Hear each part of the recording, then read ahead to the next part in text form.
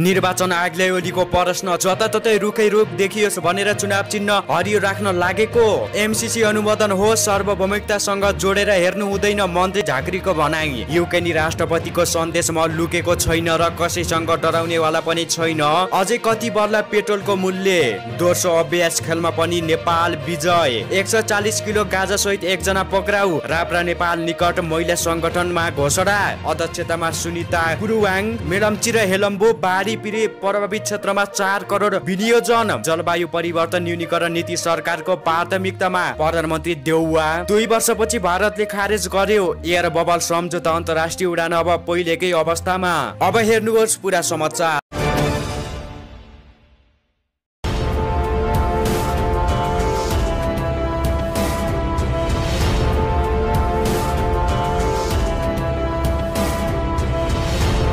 दर्शकबिन नमस्कार। अहिले तपाईँहरू हेर्दै हुनुहुन्छ नेपाली मिडिया युट्युब च्यानल। तपाईँहरू महादेश देश तथा विदेशका मुख्य मुख्य खबर लिई उपस्थित भएका छौ। भिडियोलाई भने अन्तिमसम्म हेरी च्यानल लाइक र सेयर गर्न भने नभुल्नु होला अझै पनि हाम्रो च्यानललाई सब्सक्राइब गर्नु भएको छैन भने सब्सक्राइब गरी साइडमै रहेको बेलायकन घन्टीलाई बजाई अलमा क्लिक गर्न पनि नभुल्नु होला दर्शकबिन यो भिडियो कहाँदेखि हेर्दै हुनुहुन्छ के भन्न चाहनुहुन्छ?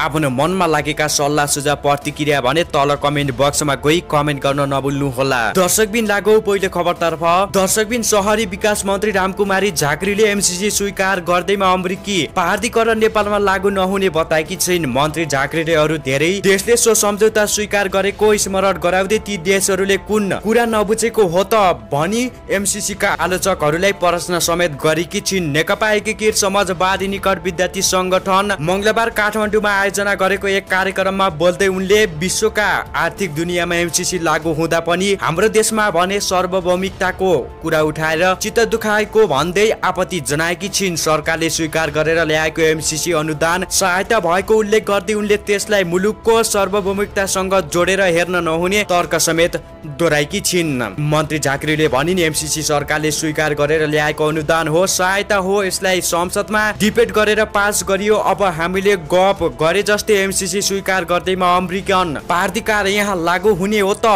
के हो त भने हामी भन्छ अर्को आधा दुनियाँ त हुन्छ भन्ने छ नि त। उनीहरूले के कुरा नबुझेको हो? हामी मात्रै। सेभेरेन्टीको लागि चिन्ता भएको हो त। त्यो त नहोला मन्त्री झाँक्रीले एमसिसी संसदमा डिबेट भएर पास गरिएकाले चिन्ता गर्नुपर्ने अवस्था नरहेको पनि दोहोऱ्याएकी छिन्। उनले महिला हिंसा अन्त्यका लागि तय गरिएको कानुन नीति र कार्यक्रममा पनि परिमार्जन गरेर अघि बढ्नुपर्ने जोड दिएकी छन्। दर्शकबिन लागौ अर्को विषयवस्तुतर्फ। दर्शकबिन रुसले युक्रेनीमाथि आक्रमण गरेको तेह्र दिन पुगेको छ। यस बीचमा बिस लाख मानिस विस्थापित भएका छन्। हजारौंको मृत्यु भएको छ। युक्रेनले खाक्री बममा भएको हमलामा एकजना रुसी जेनेरल मारिएको दावी गरेको छ। उनी युक्रेनी कारवाहीमा मरिने मारिने दोस्रो वरिष्ठ रुसी सैन्य कमान्डर भएको युक्रेनको रक्षा मन्त्रालयले जनाएको छ। युक्रेनीले अहिलेसम्म एघार हजार भन्दा बढी रुसी सैनिकको मारिएको बताएको छ। यद्यपि रुसले भने पाँच सय रुसी सैनिकको मृत्यु भएको बताएको जनाएको छ। युक्रेनले आफ्नो पक्षको हाताहाती भएको संख्या सार्वजनिक गरेको छ। युद्धमा सहयोग सर्वसाधारणको ज्यान गएको पनि जनाएको छ। दर्शकबिन लागु अर्को विषयवस्तुतर्फ दर्शकबिन प्रमुख प्रतिपक्ष दल नेकपा एमालेका अध्यक्ष केपी शर्मा ओलीले स्थानीय तह चुनावको मतपत्रको चिजहरूमा हरियो रङ राखेर निर्वाचन आयोगको निर्णयप्रति आपत्ति जनाएको बताएका छन्। आज मङ्गलबार अखिल नेपाल महिला संघले काठमाडौँमा आयोजना गरेको कार्यक्रमलाई संशोधन गर्दै अध्यक्ष ओलीले आँखा कमजोर हुने कसैले रुखै रुख देखोस् भनेर हरियो रङको चिन्ह राख्न खोजेको हो भन्ने हाम्रो स्वीकार नहुने बताएका छन्। उनले निर्वाचन आयोगले मतपत्रका चिजहरूमा हरियो चिन्ह राखु राख्नुको कारण बताउनु पर्ने भन्दै यद्यपि यो कुरा सत्य भए आयोगले त्रुटि सच्याउन आवश्यक रहेको बताएका छन्। अध्यक्ष ओलीले भन्नुभएको छ हामीलाई थाहा छैन। मैले एउटा सञ्चार माध्यममा रहेको हेरेको थिएँ निर्वाचन आयोगले मतपत्रका चिजहरू हरियो रङको राखेर भए पनि हरियो चिज किन राखेन। के कारणले राखेन निर्वाचन आयोगले बताएका छन्? यद्यपि यदि यो कुन हिसाबले राखे आँखा कमजोर हुनेले रुखै रुख देखोस् भनेर हरियो चिन्ह राख्ने हो भने यदि हरियो राख्ने निर्णय गरेको होइन भने सञ्चार माध्यमले माध्यमले आफ्नो त्रुटि सच्याउनु पर्ने छ यदि निर्वाचन आयोगले नै त्यो गरेको हो भने उसले निर्वाचन आयोगले नै त्यस्तो त्रुटि सच्याउनु पर्ने रहेको जानकारी दिएका छन्। दर्शकबिन कार्यक्रममा अध्यक्ष ओलीले छोरीहरूका लागि सबै तहका सरकारले नीति निर्माण गर्दा ध्यान दिनुपर्ने बताएका छन्। उनले अबका दिनमा छोरीहरूले रोजगारका अवसर छोड्ने भने छोरीहरूको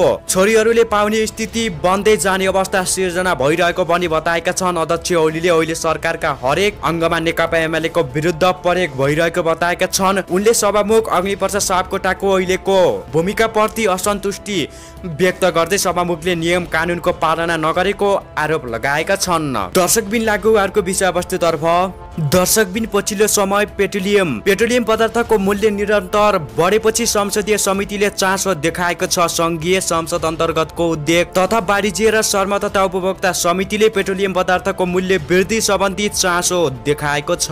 यही क्रममा समितिले अर्थ मन्त्रालयमा उद्योग तथा वाणिज्य मन्त्रालय र नेपाल आयल निगमसँग यस विषयमा जानकारी समेत लिएको छ। यस्तै पेट्रोलियम पदार्थको मूल्य वृद्धि यसमा सरकारले लिने कर तथा बिक्री बापतको घाटा सम्बन्धी जानकारी लिन समेत छलफल नै गर्ने भएको छ। समितिले बुधबार यस विषयमा छलफल गर्ने भएको छ। छलफलमा अर्थ उद्योग तथा वाणिज्य मन्त्रालय र निगमलाई बोलाइएको समितिले जानकारी दिएको छ।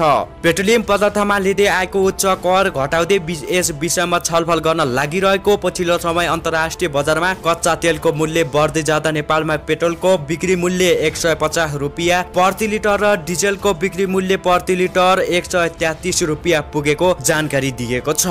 दर्शकबिन लागुहरूको विषयवस्तुतर्फ दर्शकबिन नेपाली क्रिकेट टिमले दोस्रो अभ्यास खेलमा पनि श्रीलङ्का नेभी विरुद्ध सहज जित निकालेको छ मङ्गलबार भएको खेलमा नेपालले श्रीलङ्का नेभीलाई एकासी रनले पराजित गरेको हो। नेपालले दिएको एक सय सत्र सन्तानब्बे रनको लक्ष्य पछाएको श्रीलङ्का नेभी तिन सय तिस पोइन्ट पाँच ओभरमा एक सय पन्ध्र रनमा अल आउट भयो।